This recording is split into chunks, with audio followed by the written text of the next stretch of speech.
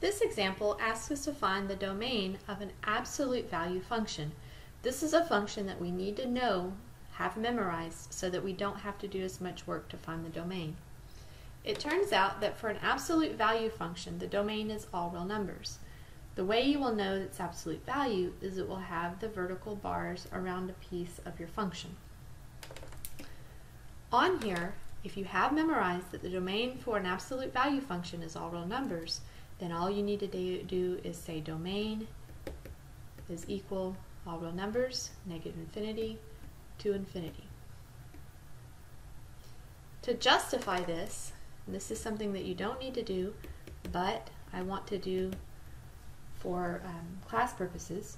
To justify this, we can go to our y equals menu. If you have a function in there, just clear it out.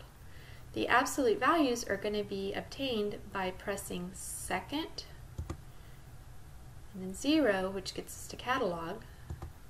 And the very first thing in the catalog is ABS and then a parenthesis. Just press enter there.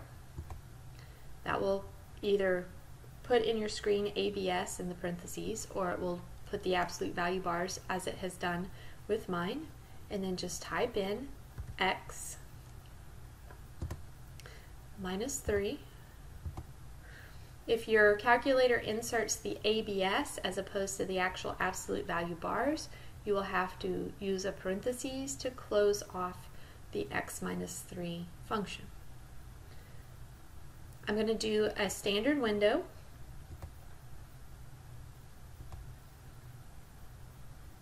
And then that results in the graph. The graph of an absolute value function is a V-shaped graph. In this case, it's a V-shaped graph intersecting the x-axis at x is 3. The general shape looks like this when I look at my calculator. And because my graph goes forever to the left and forever to the right, that's why my domain is negative infinity to infinity.